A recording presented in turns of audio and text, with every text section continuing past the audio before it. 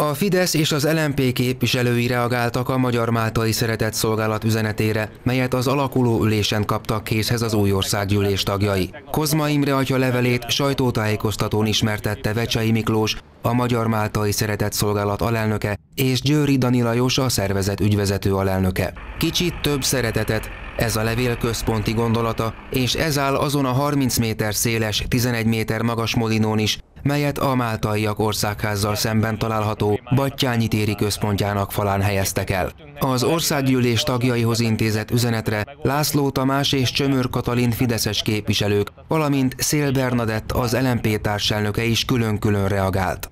Válaszaikban mindhárman kiemelték, nagy felelősségük van, melyel élniük kell a közjó érdekében. Kozma Imre atya, a Magyar Máltai Szeretett Szolgálat elnöke levele végén felelősségteljes munkájukhoz találékony szeretetet kívánt a képviselőknek.